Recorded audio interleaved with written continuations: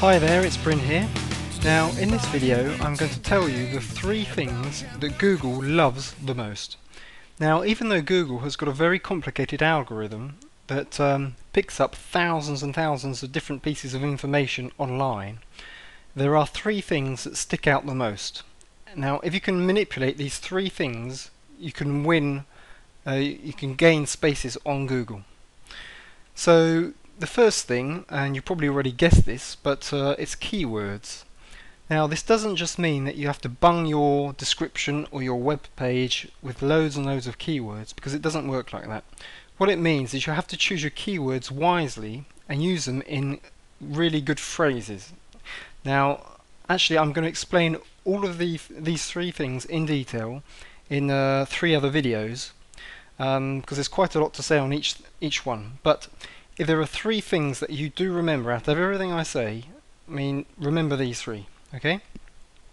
So anyway, the second thing that uh, Google takes in account is uh, backlinks.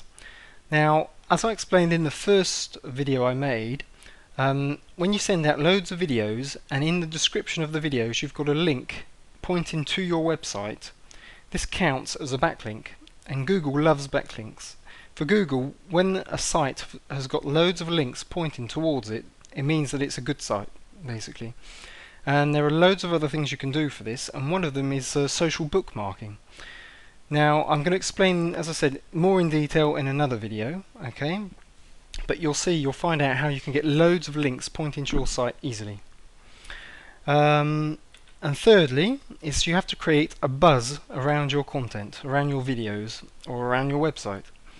Now, Google knows when there's when people are making a fuss over a video or a website because it can it counts how many people go to visit that video or website. So when a, when a video has been seen loads of times and it's got loads of comments underneath it, for Google that means that it's an interesting video.